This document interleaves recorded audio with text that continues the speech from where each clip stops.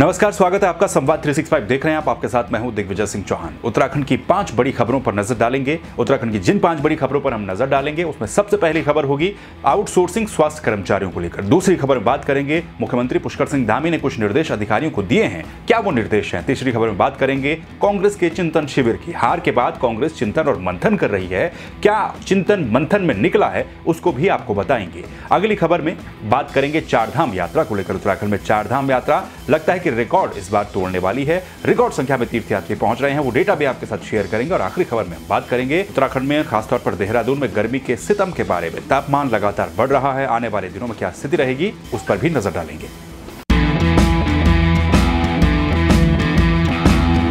तो चलिए, सबसे पहले बात कर लेते हैं आउटसोर्सिंग स्वास्थ्य कर्मचारियों को लेकर। दरअसल कोरोना काल में आउटसोर्सिंग के माध्यम से करीब 2200 स्वास्थ्य कर्मचारियों को नौकरी पर लगाया गया था, लेकिन 31 मार्च को उनकी सेवाएँ समाप्त कर दी गई थी। उसके बाद एक बड़ा बवाल हुआ, बड़ा प्रदर्शन हुआ, विरोध भी हुआ। उसके बाद सरकार ने फैसला लिया कि इन 2200 कर्मचारियों की नियुक्ति को दोबारा किया जाएगा। लेकिन नियुक्ति को आउटसोर्सिंग एजेंसी के माध्यम से करवाया जा रहा है। अब इस मामले में ये बात निकल करके सामने आई कि जो बाईस आउटसोर्सिंग स्वास्थ्य कर्मचारी हैं, उनको दोबारा नियुक्ति देने के नाम पर उनसे चालीस हज़ार रुपए तक की सिक्योरिटी ली जा रही थी। इसी को लेकर के जो आउटसोर्सिंग स्वास्थ्य कर्मचारी हैं, उन्होंने अपनी नाराज़गी व्यक्त की है। विरोध जताया है। दून मेडिकल कॉलेज वो पहुँचे, प्रिंसिपल का घेराव उन्होंने किया। उनका साफ़ तौर पर यह कहना है कि उनकी नियुक्तियाँ जो पहले की गई थी, वो उपनल और पीआरडी के माध्यम से की गई थी। तो फिर अब क्यों तीसरी एजेंसी के माध्यम से उनकी नियुक्तियों को किया जा रहा है और क्यों फिर तीसरी जो एजेंसी है, वो उनसे सिक्योरिटी के नाम पर पैसे लेने का काम कर रही है? उन्होंने आरोप लगाया है कि दस हज़ार से लेकर पंद्रह हज़ार, बीस हज़ार और चालीस हज़ार तक की सिक्योरिटी इन आउटसोर्सिंग कर्मचारियों से ली जा रही है, आउटसोर्सिंग एजेंसी के माध्यम से।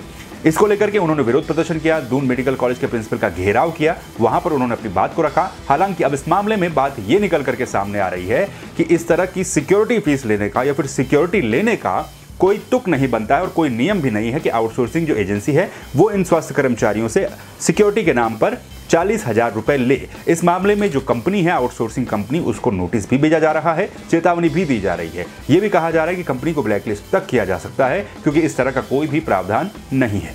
हाँ ज़रूर है कि पेपर के माध्यम से है कि कोई एजेंसी जिसको हायर किया उसके अपने नियम है। देखिए अब ये तो हम इस बारे में कोई कमेंट नहीं कर सकते। हमें तो जब मैन पावर मिलेगी तो हम उनको परफेक्ट करेंगे।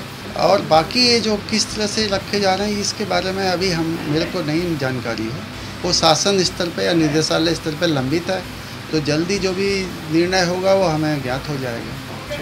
कि जो टी कंपनी है, वो डायरेक्टली आपने उसमें देखा तीस से चालीस हज़ार रुपये सिक्योरिटी मांग रही है उसकी सात हज़ार रुपये मांग रही है? अगर अदर मेडिकल कॉलेज की बात करें, वहाँ तो उन्होंने सीधे हायर कर दिए हैं। जब हमें यहाँ से फ़ोन किया जाता है, हर एक व्यक्ति को फ़ोन किया जाए जो हमारा कोविड कर्मचारी है, जिसने अपने उस दौरान काम किया था, जिस टाइम पे यहाँ पे कोई काम नहीं करने को तैयार था आज उन्हीं कर्मचारियों को तीस से चालीस हज़ार रुपये में हायर करवाने की बात करते हैं। तो ये ये किस चीज़ का हुआ है? ये तो करप्शन है ना? और करप्शन में हमारे प्रिंसिपल शामिल है, इसमें मैं तो सीधे कहूँगा। अगर जब बात करने के लिए यहाँ पे आए तो उन्होंने मुकर के सीधे आपके सामने चले गए। तो करप्शन में शामिल है? तो बात करिए। अब बात कर लेते हैं मुख्यमंत्री पुष्कर सिंह धामी को लेकर। चंपावत में उपचुनाव निपट चुका है। मुख्यमंत्री पुष्कर सिंह धामी कई बार एक्शन मोड में नज़र आते हैं। इसी सिलसिले में मुख्यमंत्री पुष्कर सिंह धामी ने सचिवालय में अधिकारियों की समीक्षा बैठक ली। इस समीक्षा बैठक में उत्तराखंड में चल रहे कई विकास कार्यो के बारे में चर्चा की गई, बातचीत की गई। मुख्यमंत्री पुष्कर सिंह धामी ने अधिकारियों को ये स्पष्ट निर्देश दिए हैं कि सचिवालय में जो भी फाइलें हैं, उनका निस्तारण तय समय पर किया जाए। क्योंकि अमूमन आमतौर पर देखने को मिलता है कि सचिवालय में दफ्तरों में कई सारी फाइलें ऐसी रहती हैं कि जो कि सालों से, महीनों से धूल फांकती रहती हैं, लेकिन उन पर काम नहीं होता है। वो फाइलें आगे नहीं बढ़ पाती हैं, जिस वजह से विकास कार्य अवरुद्ध भी होते हैं और विकास कार्य समय पर पूरे नहीं हो पाते हैं। मुख्यमंत्री पुष्कर सिंह धामी ने इसी सिलसिले में अधिकारियों को स्पष्ट तौर पर निर्देश दिए हैं कि जो भी फाइलें सचिवालय में होती हैं, उनके लिए एक समय सीमा का निर्धारण किया जाए कि इतने समय में इस फ़ाइल को कंप्लीट किया जाना है और उस पर पूरी शिद्दत के साथ काम किया जाए, यानी कि तय समय पर काम पूरा किया जाए, तय समय पर फाइलों का निस्तारण किया जाए, इस पर विशेष रूप से ज़ोर दिया जाए। मुख्यमंत्री पुष्कर सिंह धामी ने इस समीक्षा बैठक में अधिकारियों को यह भी निर्देश दिए हैं कि उत्तराखंड में जो क्राइम का ग्राफ है, उसको रोकने के लिए जो वारदात होती हैं, उसको रोकने के लिए स्पष्ट तौर पर काम किया जाए, सख्ती के साथ काम किया जाए। मुख्यमंत्री ने यह भी कहा है कि प्रदेश में जो पेट्रोलिंग है, उसको लगातार बढ़ाया जाए, जो पुलिस प्रशासन का मुखबिर तंत्र है, उसको मज़बूत किया जाए, ताकि बढ़ते हुए अपराधों पर अंकुश लगाया जा सके। अब बात कर लेते हैं कांग्रेस को लेकर। दरअसल विधानसभा चुनाव में कांग्रेस के निराशाजनक प्रदर्शन के बाद कांग्रेस पार्टी अपने अंदर चिंतन मंथन करने में जुटी हुई है। हाल ही में उत्तराखंड में संपन्न हुए विधानसभा चुनाव में कांग्रेस को मुँह की खानी पड़ी थी। कांग्रेस का प्रदर्शन बेहद निराशाजनक था। इसी निराशाजनक प्रदर्शन को लेकर कांग्रेस ने पहले तो राजस्थान के उदयपुर में चिंतन शिविर किया और उसके बाद वहाँ से जो बातें निकली, उसको लेकर के देहरादून में भी अब चिंतन शिविर का आयोजन किया जा रहा है। दो दिनों का चिंतन शिविर कल से शुरू हो चुका है। देहरादून के जीएमएस रोड स्थित एक गार्डन में कांग्रेस का चिंतन शिविर आयोजित किया जा रहा है। इस चिंतन शिविर में कांग्रेस के प्रदेश प्रभारी देवेंद्र यादव, पूर्व मुख्यमंत्री हरीश रावत, प्रदेश अध्यक्ष करण महारा, नेता प्रतिपक्ष यशपाल आर्य, उपनेता प्रतिपक्ष भुवन कापड़ी समेत कई बड़े बड़े नेता शामिल हो रहे हैं।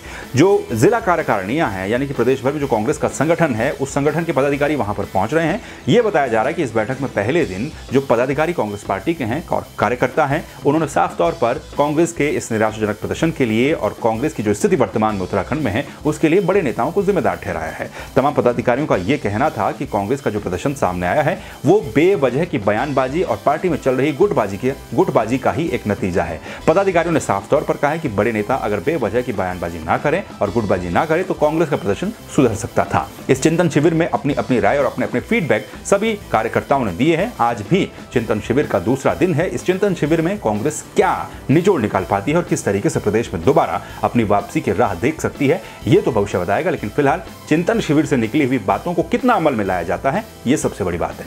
अब बात कर लेते हैं, उत्तराखंड में चल रही चारधाम यात्रा को उत्तराखंड में चल रही चारधाम यात्रा लगातार एक के बाद एक रिकॉर्ड बनाने की तरफ़ निकल पड़ी है। चारधाम यात्रा में श्रद्धालुओं की संख्या लगातार बढ़ती जा रही है। अभी तक जो डेटा सामने आया है 31 मई तक का जो डेटा सामने आया है, उसके मुताबिक 31 मई तक करीब 14 लाख तीर्थ यात्री उत्तराखंड पहुँच चुके हैं। साढ़े तेरह लाख के आसपास का ये आंकड़ा है, लेकिन एक दो दिनों में जिस तरीके से श्रद्धालुओं की संख्या बढ़ी है तो चौदह लाख को ये आंकड़ा अब पार कर गया होगा। इकतीस मई की देर रात तक बद्रीनाथ और केदारनाथ पहुँचने वाले कुल तीर्थ यात्रियों की संख्या, यानी कि जो बद्रीनाथ और केदारनाथ दोनों का योग है, वो नौ लाख के पार पहुँचता है। नौ लाख तीन हज़ार पाँच सौ नौ तीर्थयात्री यहाँ पहुँचे हैं।